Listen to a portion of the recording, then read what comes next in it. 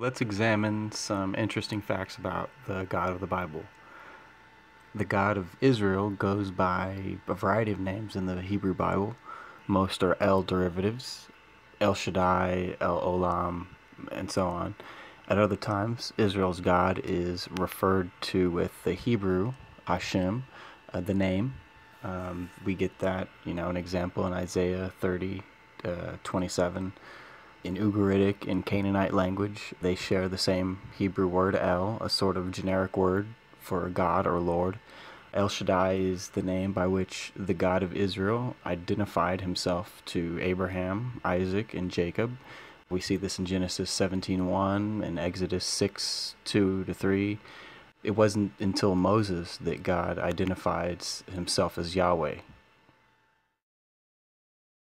Another interesting aspect is how we can view God as man in the Old Testament.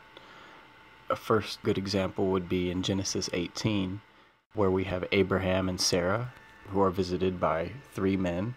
The language used here is pretty clear. We've got two, which are angels, and the third is the Lord, the God of Israel. A little less clear is Genesis 32, where we have Jacob who wrestles with a man who is also called an angel. This incident is referenced in Genesis 48.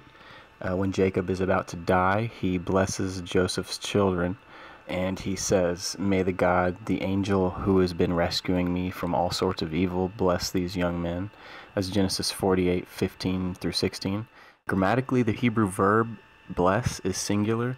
It's important because Jacob does not uh, use the word they for example, may they bless these young men. Instead, the context tells us that the God and the angel in this passage are one and the same. Another example comes from Exodus 23:21.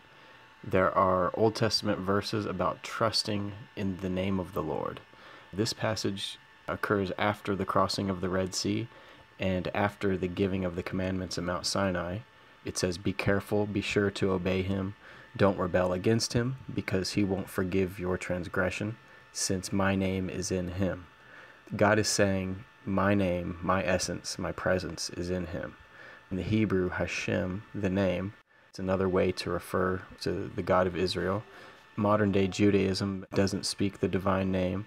YHWH, they will say Adonai, the Lord, or Hashem. Interestingly, in the New Testament, when Jesus prays at the Garden of Gethsemane, he thanks God for the name given to him. That's John 17 11 through 12. He's not literally thanking God that his name is Jesus. Jesus is essentially saying, I'm glad that I am a man incarnate and I have your name inside me, the essence of God himself embodied and who took the Israels to the promised land. Because if we look at the Hebrew Bible, we have one God, uh, the angel, and the presence of God. And all three, there are all different ways to speak about the same thing. In the case of the angel, he was visible in human form, and he shows up elsewhere as the captain of the Lord's host.